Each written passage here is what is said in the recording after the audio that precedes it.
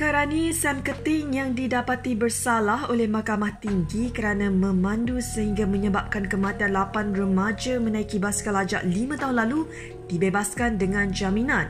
Mahkamah Rayuan membenarkan jaminan ke atas Sam Keting sementara menunggu untuk mendengar rayuannya terhadap sabitan hukuman penjara 6 tahun dan denda RM6,000. Panel membenarkan ikat jamin RM10,000 dengan seorang penjamin.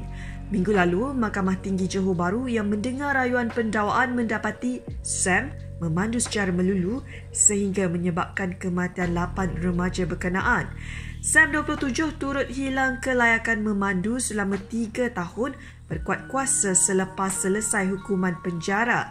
Pada 10 Oktober 2021, Mahkamah Magistrate mendapati Sam tidak bersalah mengekalkan keputusan sama sebelum itu untuk membebaskannya daripada tuduhan. Abu Bakar yang mendengar rayuan pendakwaan bagaimanapun mendapati pembelaan Sam hanyalah penafian semata-mata dan difikirkan kemudian kerana memberi kenyataan tidak bersumpah dan tidak boleh disoal balas. Katanya magistrat bicara tersilap apabila berpendapat pembelaan Sam telah menimbulkan keraguan munasabah terhadap kes pendakwaan.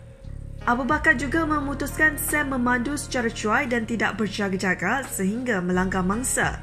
Keputusan Abu Bakar bagaimanapun dibantah sebahagian masyarakat yang merasakan ia tidak adil serta tidak juga mengambil kira kesalahan 8 remaja berkenaan menunggang basikal secara berbahaya.